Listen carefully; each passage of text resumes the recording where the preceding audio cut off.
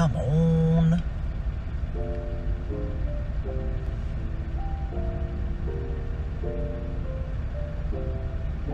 Connor can zoom through this. He can do some editing.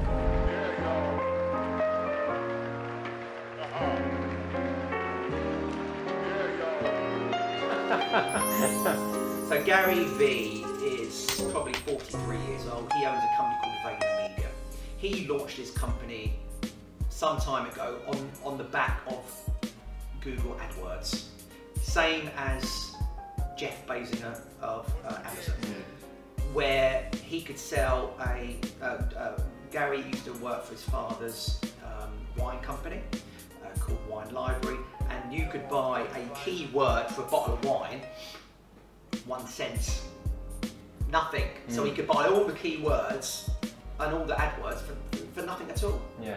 So he was getting anyone who's searching for Sauvignon Blanc or whatever it may be, he was going to number one instantly. So he made millions out of that.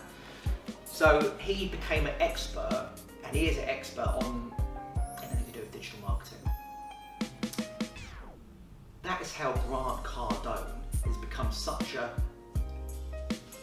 a money spinning machine through his Cardone capital because he knows how to work digital marketing, social media he wants normal people like us to invest 5, 10, 20, 30, 40,000 dollars into Grant uh, Cardone capital to get those returns. So ever since he's really hit the nail on the head with YouTube, Instagram and Facebook and LinkedIn, his business is quadrupled. Yeah. Now he's buying units for five, six hundred thousand, six hundred million dollars. So you know, I believe in content, and uh, we try and produce as much content as possible. Hi CJ, how Hi, are you, mate? I'm good. see you. 'Cause this is part of a franchise, isn't it? Yes, it is. So in the other showrooms, they Yeah. don't have these big. Displays. What they do, They do. They do, Right. yeah. But mine is actually the biggest amongst all of them. It's about three meter long by one meter wide. And um, what is the, the most sort of popular floor you got in the place? Is it, would it be parquet or would it be, um, know, because I quite like The big these plants. big, these big things. But trouble is, you're going to need such a huge house. They are the biggest I've seen in the country so far. They are, I think, um, 3.9 meter long and 340 millimeter wide. Yeah. Um, I haven't seen any bigger so far, you know, in the country. Have you have you sold any of these? And Yes, we do get a lot of inquiries, particularly from commercial uh, properties, Yeah. you know, museums and, and bars and restaurants. So, yeah, like a wine cooler, coffee machine, so when people come in, they can sit. I actually do have that. Let me show you. Come on. That is not a kitchen. What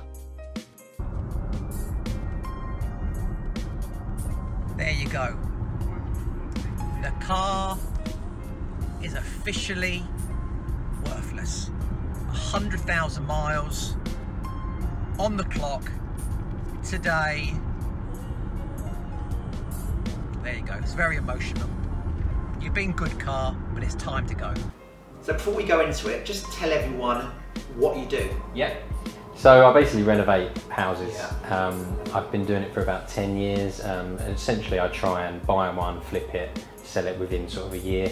So I've done everything from large extensions and sort of million pound houses down to terrace houses and some flats, just trying to flip it in 30 days. Yeah. Oh, All my friends always ask me about how the renovation is and they'd like to see it and they'd like to try it themselves one day. So I just started filming it and it seems like a lot of people out there are the same. So after you've done your first project and it was all on YouTube, and it, then the traction started to build up on on YouTube, and the subscribers uh, got higher and higher. Did you think it was ever going to be a success like that? No, not at all. It was just something I was trying. I didn't really have any goal. I just thought that people were interested in it. I'll try it for a year, and it's sort of gone from naught to thirteen hundred subscribers and hundred thousand views, which has just really surprised awesome. me. Yeah, it's really cool. Pisses me off. Uh, you know, I like this this uh, this colour here, the stain. The how it is. Samoris. Yes. beautiful. Yes, it is beautiful. And our sales is really quite split 50-50 between our parquet floors and, and, and the planks. Yeah. Um, greys are becoming a thing right now. I think 2019 has been the year of greys. Say if you were uh, you did you were uh, uh, refurbing your apartment and you were Yeah. looking for a budget floor. What's the entry level here? Well, the entry level starts from around 39.99, which is this way. Um, it's a 14 mil floor. with a five um, with a three mil wear layer, uh, which is still really really thick. You know, you can still get a lot from there. uh, and then we go up to about 175. One of the reasons why we can bring a lot of these products to the market at this price is because we design and manufacture our entire range of flooring. Yeah. We do not have any sort of like middlemen. And uh, what, what, what's your favourite?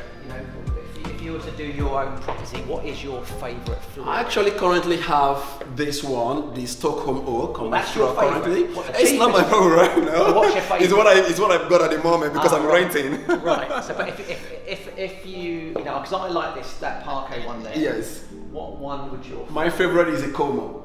What's that one? So the Como is right here. The Como is a rustic floor, Yeah. hand scraped. And one of the benefits to the Como is the fact that this floor is always going to look like this 10, 15, 20 years from now on. So if you've got like a busy family, children, kids, or pet, this would be my first recommendation. And you know, as I plan to have kids, you know, in the near future, this will be something I would install. That's nice. Because of the rustic nature, whatever happens to this floor, it's always going to remain like this. Yeah. And that is why it's my favorite floor.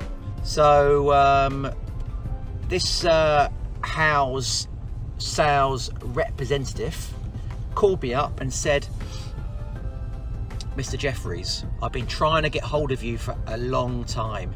We love your business and we really want to collaborate with you. I said, brilliant. Thanks very much. You know, uh, tell me more. Tell me more. She goes, well, um, you know, we don't work with a lot of companies. We only work with a chosen few, and there's a there's a there's a gap in the market for us to partner with you to make sure that your uh, page gets put to the top all the time, and you're going to be getting so many leads. The phone is going to be ringing off the hook, and uh, it's going to be really successful. I said, "Tell me more. Tell me more. I love it." She's, she's selling, selling, selling. She's really, she's a, she's a fantastic salesperson. Every week, I have meetings in my office with five or six architects and business people coming in to collaborate with me. I asked them the question, have you been approached by Houzz? Every single one of them said, yes. We've been approached by Houzz. We've been told that we are the best architects or the best designer build company in our area, and we would love to collaborate with you. So obviously, Houzz is going forward on a massive sales uh, push, talking to all West London, North London companies, trying to slam them and secure them in uh, contracts for their services. So it was all bullshit. So come on, Houzz, pull your socks up, get let me get out of this contract, or prove to me it works because at the moment it's not. And um, uh, your reputation is on the line because I know you have been talking to hundreds, if not thousands, of businesses across London, like me, telling them they are the chosen company that you want to work with. It's a lie. If you like this, don't forget to share and subscribe to my YouTube channel, and uh, I'll catch up with everyone, anyone later on. See ya. Bye.